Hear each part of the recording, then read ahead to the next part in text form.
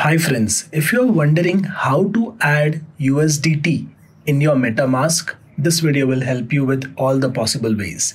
Now, this is a fresh MetaMask installation and you see over here, Ethereum shows up as the default token. But you would know there is a simple complexity which you need to understand about MetaMask. That is that different networks like Polygon, BSC Smart Chain, these have to be selected and even added manually.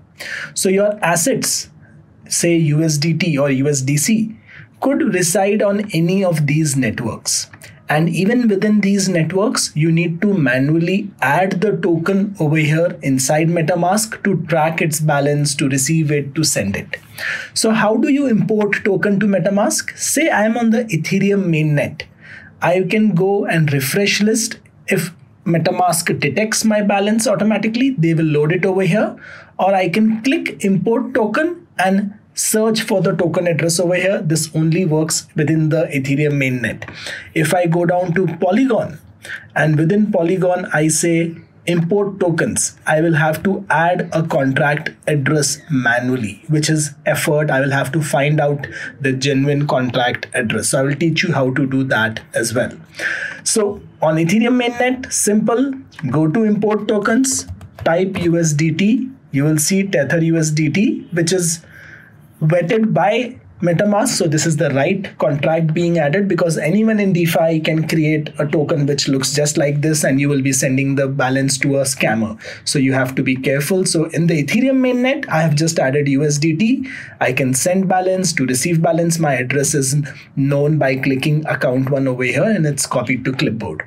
Now within Polygon, things get a little complicated. When I do import token, I have to add a contract address over here manually. To avoid making mistakes, what I do is I go to coingecko.com, I click on Tether, and within Tether, I find the contract tab over here on the top.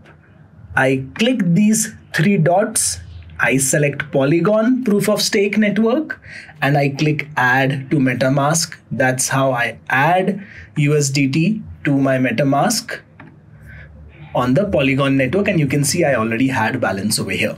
Now if you want to avoid all of this complexity to add USDT to MetaMask, the simple thing you can do is just get obvious wallet like me. It can connect with your metamask and all other wallets and can behave as a great multi-chain wallet.